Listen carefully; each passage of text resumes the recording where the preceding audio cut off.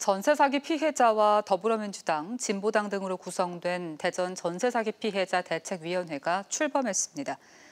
대책위는 지난 6월 기준 대전 전세 사기 피해 건수만 114건에 피해자가 300명을 넘었고 상당수가 다가구 주택에서 발생했는데 이는 개인이 빚을 내서 수십 채의 건물을 소유했지만 관리 감독은 부실에 초래된 사회적 재난이라고 주장했습니다.